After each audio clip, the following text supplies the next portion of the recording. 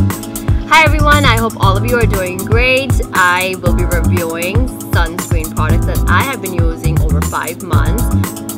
This is the SPF 30 by Coola. It has, it's 70% organic, sun silk drops. Uh, that's how it looks like, let me show you.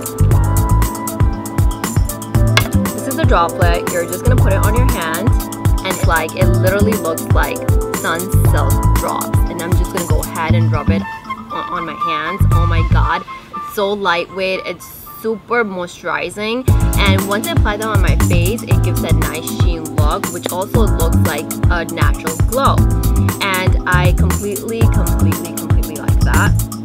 And it is vegan cruelty free uh, I'm just gonna quickly read off of here. It's farm to face gluten free plant protection antioxidant enriched so it has all the good things and once you apply the traditional sunscreen you will see there's a chalky like you're you're gonna see the white film on your face for about 45 minutes then it has to kind of soak into your skin and then it becomes normal. Sometimes it's too heavy for the oily skin as well. Coola it's super light on my skin it doesn't have that chalky finish and I completely love it.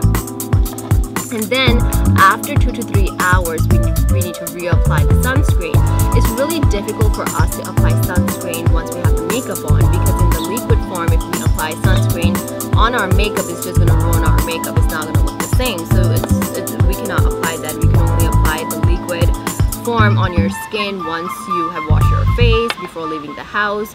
Uh, you can apply it or before makeup you can apply it, it it's gonna work well then. What I like to go with is Super Goop. They have a wide range of collection of SPFs and I love Invincible by Super Goop. Uh, it's a setting powder because it's just gonna set your makeup once again. You're gonna look radiant. It's gonna take the sweat away. In fact it's uh, sweat resistant as well. So it has a lot of pros. Um, it has SPF 45 which is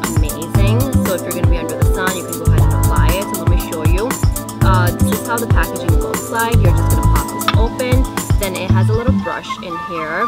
And the setting powder is towards the bottom. And then the setting powder is going to come from in the middle of the brush. That's where it's going to come from. You're just going to go ahead and tap, tap, tap. The powder is going to come out. And you're just going to go ahead and brush it on your face.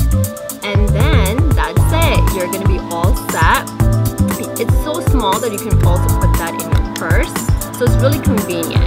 When you're going out to buy the sunscreen, make